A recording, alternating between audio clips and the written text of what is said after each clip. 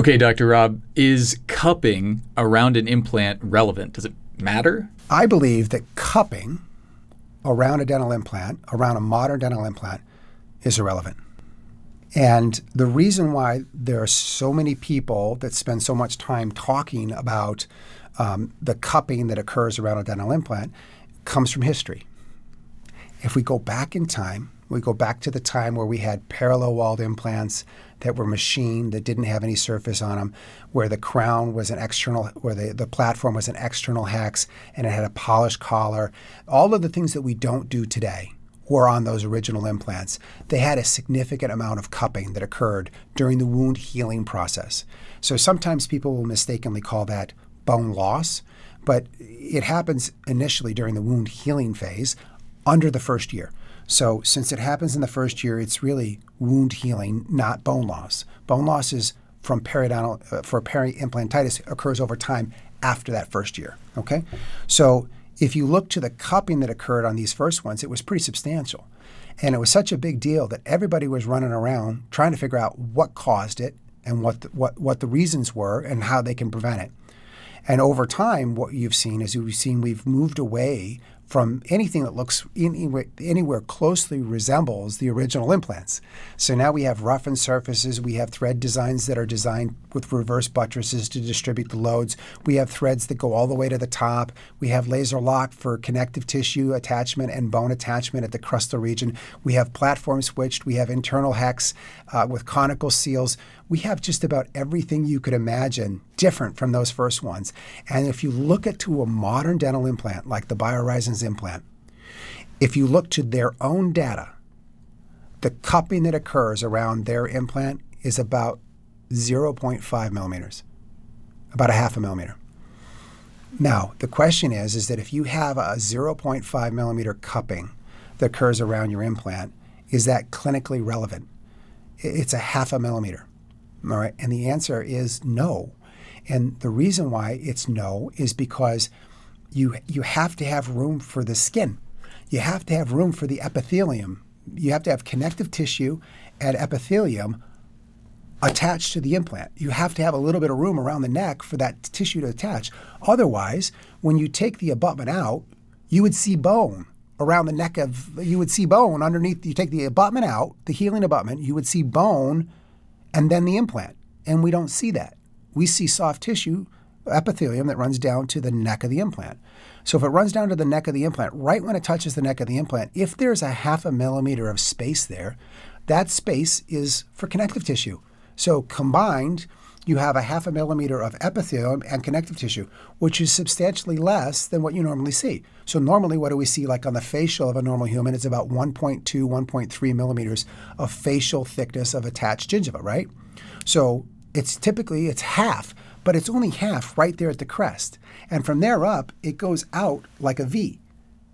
And the thing is, is that that V is tracking the emergence profile of your crown that you're developing because you're going to put a heart shaped crown on top of this implant. So you have to have a little bit of room for the soft tissue to follow.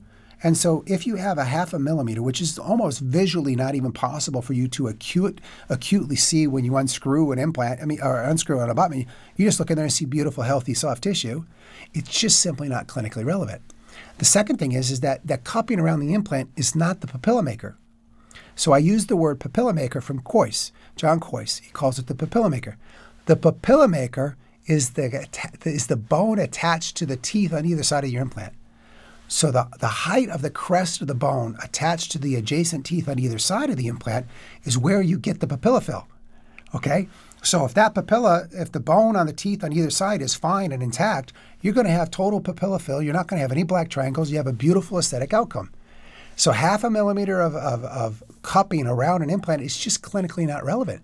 I don't ever think about it. I don't I don't ever plan a case and go, well, how am I going to manage a half a millimeter of, of cupping around my implant? It's just clinically not relevant. It, I just don't see it. And case after case after case, you can look at cases where you have a half a millimeter cupping radiographically and then go to a clinical case, look clinically at the clinical photos, and it's beautiful and unscrew the pros and look in the hole and see this beautiful uh, conical emergence profile of the soft tissue, pink and healthy, maybe a little bit of bleeding where the where the connective tissue tore when you disconnected the uh, the interface, and it's just beautiful. And you're like, there's uh, radiographically, there's a half a millimeter here. There's not. The problem is it came from the old school where we focused on it, but we've where we've evolved to the point with with a modern dental implant like the BioHorizons implant. I just don't see it, and just just clinically irrelevant. And we've talked about in the in the in the uh, uh, videos here, we've talked about the 51 different design criterias and how we optimize, right? How we optimize. So you, I, I've got the list of 51 reasons why dental implants can fail, like complications and things that happen from these different parameters. And as a dental implantologist, what we have to do is we have to we have limited resources. Our time and effort has to be optimized and maximized. So if we said there are five, or let's say, say four cornerstones to implantology, the four most important things that we want to get right. And by getting those right, we have a 99.9% success rate. The other, the other, let's do, let's do the math real quick, 37 or 47 uh, different parameters are secondary, tertiary, quaternary from those first four most important ones. They have the biggest bang for the buck.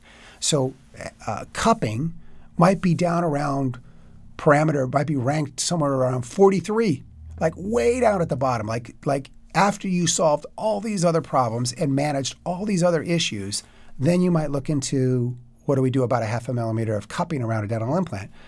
That's when you would, I mean, way down at the bottom. So get the four most important things right, get the cornerstones right, and you'll have terribly good success, and you won't have to worry about cupping around a dental implant at all. And just frees your mind up. So you don't have to build any sort of complicated uh, algorithm on how to place implants or how to restore implants. It's just very, very simple. And that's why we call it Implants Made Simple. No worrying about cupping. No cupping around here. this has been another episode of Implants Made Simple. I'm Dr. Robert Stanley, Smile Engineer, out.